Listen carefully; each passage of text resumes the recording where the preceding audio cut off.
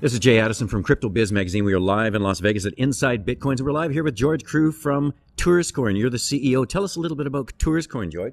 Well, TouristCoin is going to provide uh, tourist services, crypto coin tourist services, uh, well, to people that travel overseas. So uh, we're going to provide online wallets to people in hotel lobbies, money exchanges, and through travel agencies. The online wallet, what it will do is will allow people to keep their credit card secure, preventing fraud, and we will provide them with discounts at selected partners and duty-free shops. It's a, a way to secure the credit card. Credit card fraud is uh, it's very it's, it's huge, and it's still a long time till um, uh, credit card uh, uh, secure technology gets to the to the U.S. At least a couple of years. So we're we're we're betting on that.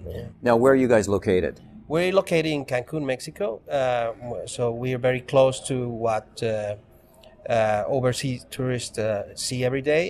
we are we see credit card fraud. it's very common.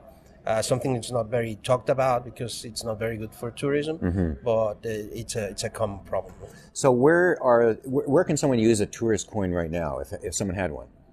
We'll have selected partners that will accept uh, tourist coin, but we will also be able will allow people to pay uh, uh, to Bitcoin merchants. Okay. So uh, we'll have all their network of Bitcoin merchants available to them to, to use their, their balances on it.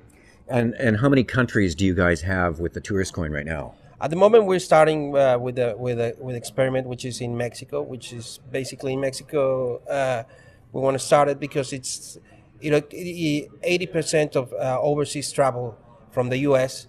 goes to Mexico. That's so, for sure. So if we cover that, we if we do well there, we will will try to expand to another other countries. Okay, so because our Crypto Biz magazine is is all over the world, and let's say there's some tourist destinations, and we're here in Las Vegas right now. Let's say someone in Las Vegas wants to get involved with you in the tourist coin and set it up so that they can accept the tourist coin and also provide someone a discount for that. How would they get a hold of you to do that? Uh, you can get a hold of me through the website touristcoin.com or gcrew at touristcoin.com. Sounds good. Now, George, let me ask you the question we ask everyone. January 1st, 2015, what do you think the price of Bitcoin is going to be? Uh, I think it'd be a thousand. well, that was a pretty quick answer. George Crewe, CEO of TouristCoin, thanks again for joining us. Thank you so much. Have a great day.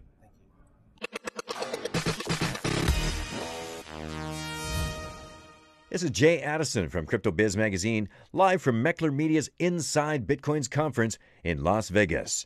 Remember to subscribe to Crypto Biz Magazine at cryptobizmag.com. Follow us on Twitter at CryptoBizMag. Thanks for joining us and learn more at CryptoBizMagazine.com.